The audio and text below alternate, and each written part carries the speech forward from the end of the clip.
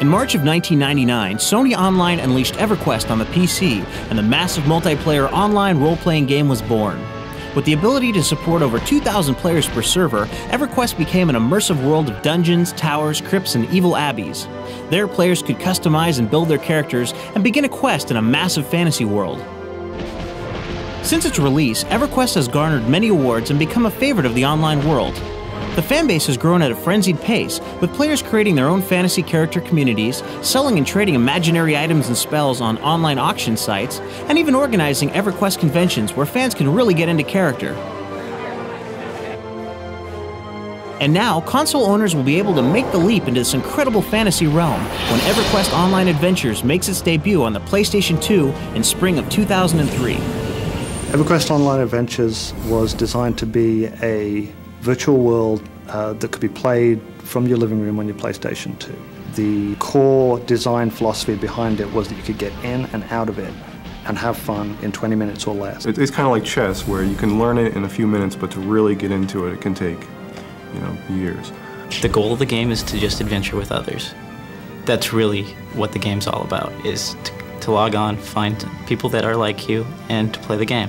And the idea is that we, we create a space that really looks and feels and acts like a real world. And all of the people that you meet online could be from anywhere in the world, but you've all come to Norath to play the game. Up for some role playing? Grab your copy of EQOA, throw it in your PlayStation 2 with a memory card, and get online with the network adapter. Then let the creative juices flow. Choose the race of your character. Do you want to be a dwarf or elf, gnome or troll? All the staples of fantasy fiction are there to suit your whimsy. Pick a race, customize and accessorize your creation, and you're ready to hit the cart paths of adventuring. You can play EverQuest Online Adventures in one of two ways, either as an individual or as a team member. Most people do both. Alone is playing around other people. When you go into the city, there are still other human beings who are in there trading or talking to you. It just means that you want to do your own adventure and you don't really want to be bothered with other people. The other way to play is joining up in a group or a guild. This is the way that a lot of people find most rewarding. That way you get together with a group of friends and you go and adventure in a dangerous dungeon, for example, that you could never possibly do on your own.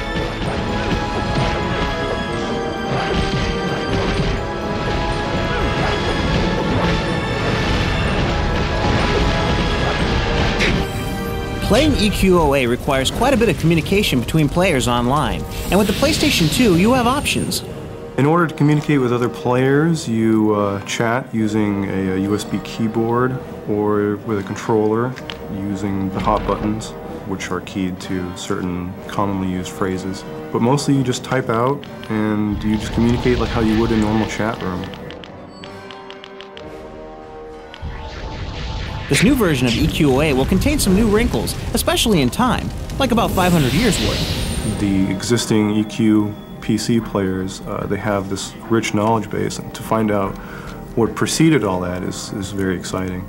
The reason EverQuest Adventures is set 500 years before the original EverQuest is we wanted to explore what happened to the elves in EverQuest in the current time period.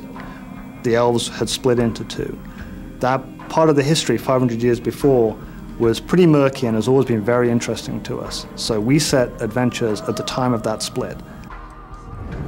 Time also needed to be shifted for the accelerated speed of gameplay on the PlayStation 2. We tried to to uh, take the EQ experience and translate it for console players. So combat encounters happen a lot more quickly and a lot more frequently. We wanted to make a combat system that was fast, real time, that required some controller skill so that the meat of the gameplay uh, didn't require you to do a whole lot of chatting. And then there's the time saved by playing in one colossal zoneless world. We came up with like eight different, completely different looking types of areas for the game. Then we had to mesh them all together because they all have to transition into one another down to the bottom of the deepest dungeon, you know, to the top of the uh, highest, you know, volcano or mountain. You will never experience any kind of a a load, a pause, or you know anything that will interrupt your gameplay. So once you get in the game, you know you're there. There's a lot more different things to do because this world is so vast. We've got a brand new quest system in Adventures which allows us to fork and have many, many more quests than we did in the original EverQuest PC.